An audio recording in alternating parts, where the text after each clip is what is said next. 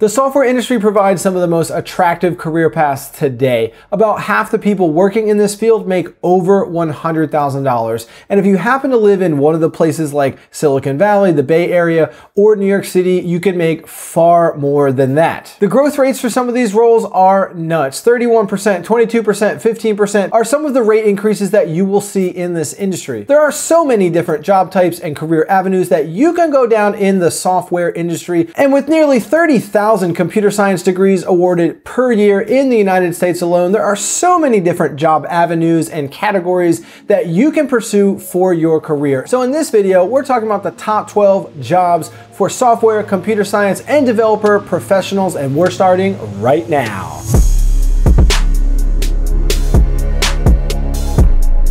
Hey guys, Jake here. If you're interested in engineering career and job success, make sure you subscribe. All the data in this video is backed by an Indeed jobs report from late 2020 and some of the job postings from right now in spring of 2021. And the salaries in this video are national, not just to the Bay Area. Let's get right started with job type number one, which is a data scientist. Data scientists work for corporations to help them establish a software system or network from which to gather important data about company financials, sales, or marketing techniques. This allows companies to weigh the success of a campaign or compare quarterly sales. Data scientists generally have a bachelor's degree in computer science and probably a master's degree as well. Data science is an interdisciplinary approach for extracting information out of data in order to make better decisions.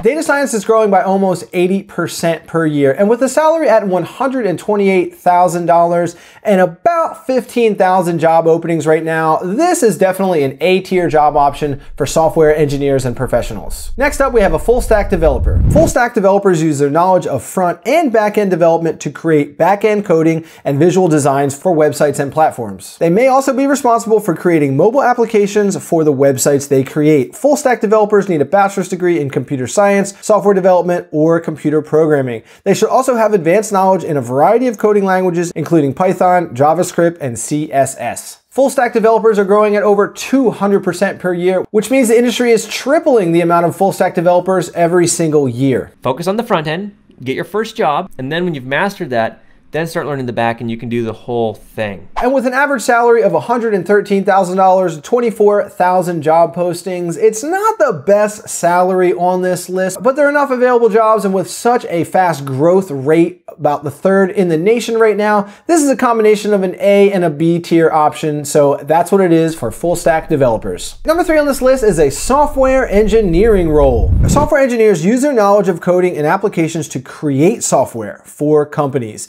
Generally, they create software programs, mobile applications, and communication channels or content management systems that are specific to a company and its needs. Software engineers should have great communication skills to be able to work with clients to establish those needs. To become a software engineer, you need a bachelor's degree in software engineering or development, computer science, or computer programming. Now, after doing the PR changes, I go back to Jira and move my task around and start 4212. I'm going to implement a camera scanner for Android and iOS. It is like a barcode scanner.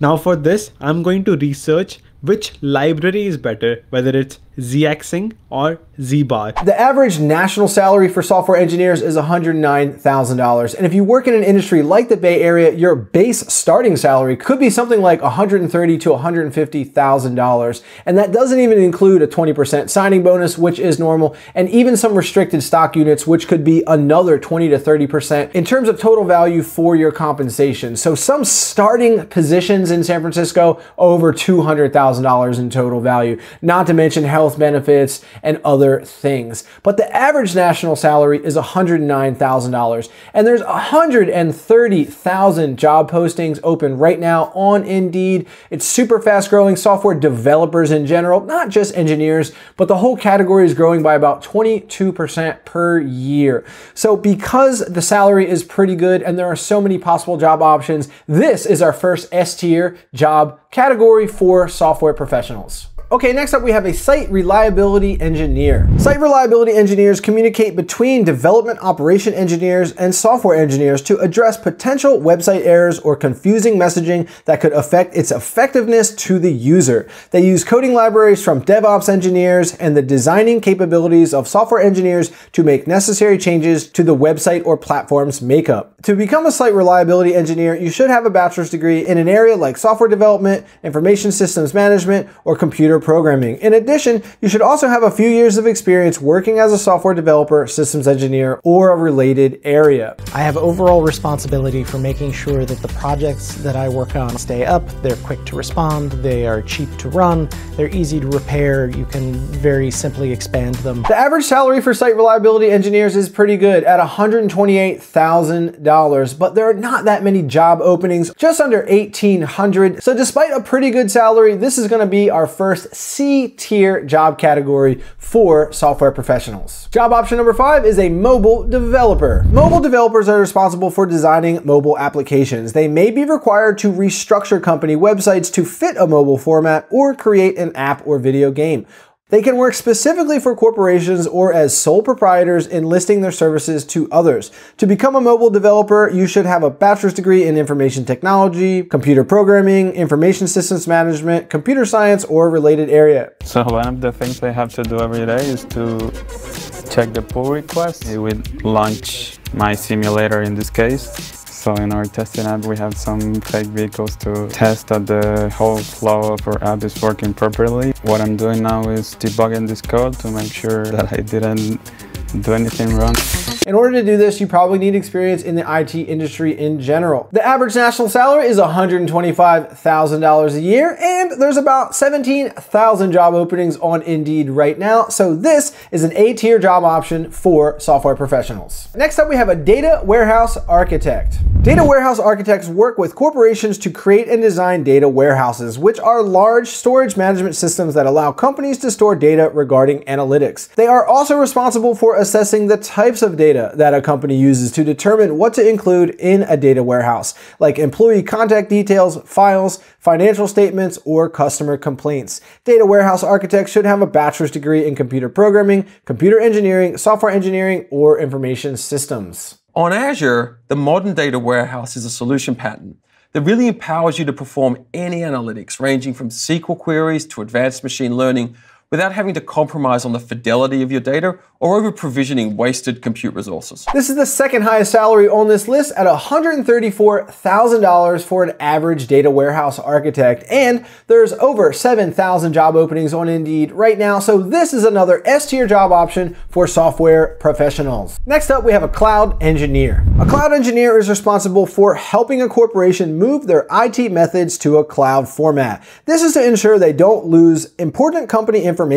Cloud engineers work to ensure that a company's cloud management system stays secure and updated so it backs up information consistently. To become a cloud engineer, you need to earn a bachelor's degree in an area like information technology, computer science, or cybersecurity. I actually work with customers' environments, uh, everything from architecting their environments and helping guide them in best practices on that to troubleshooting their environments. You usually need at least three years of experience to be eligible for cloud engineer positions. The salary of a cloud engineers is pretty good at $120,000 a year and there's almost 67,000 positions open on Indeed right now, which is the third highest on this list. So this is an A tier option for software professionals. Next up, number eight on the list, we have a development operations engineer or a DevOps engineer. DevOps engineers work within corporations or IT firms to compile code libraries or databases for each new system or software program created. This allows future employees to refer to the library to identify what certain codes represent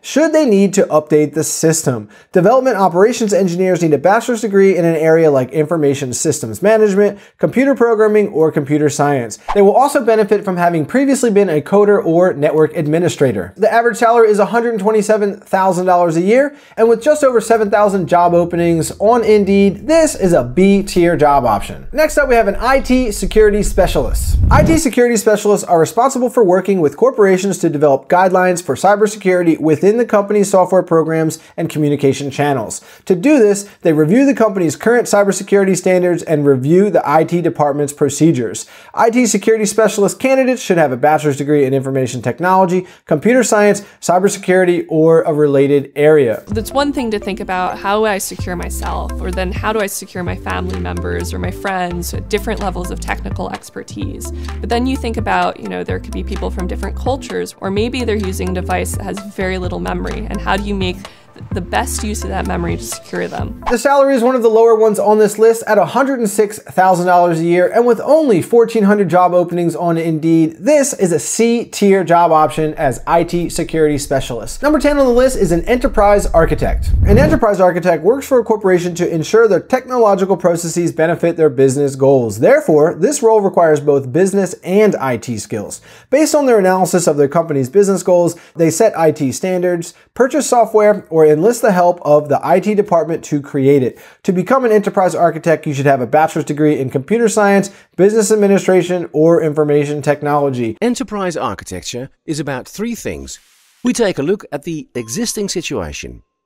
We help to develop and evaluate designs, and we create a sketch for the future so that everyone understands the direction we're heading. This type of career is a nice intersection of business and computer science, business and tech, so it's very attractive. It also pays really well. The salary is the highest on this list at $140,000 for a national average, but there's only 2,200 job openings on Indeed right now, so this is an S slash A tier job option. Number 11 on this list is a system engineer. A system engineer works for IT firms or corporations to install software programs for networks, and databases. They also need to be able to help maintain the system and make repairs to ensure security measures work. To become a system engineer, you need to have at least a bachelor's degree in information technology, computer science, or a related field. This is the lowest salary on the list at $102,000, but there's almost 190,000 job openings for system engineer on Indeed if you search that category. Mostly because there's so many job openings and you have the ability to niche down and become special in your industry so you can really get a higher salary from that average of $102,000, this is an A tier job option. Okay, the grand finale, number 12, last on this list, but certainly not least, is a software architect. Software architects are responsible for using their expert knowledge of software development to oversee a team of IT professionals,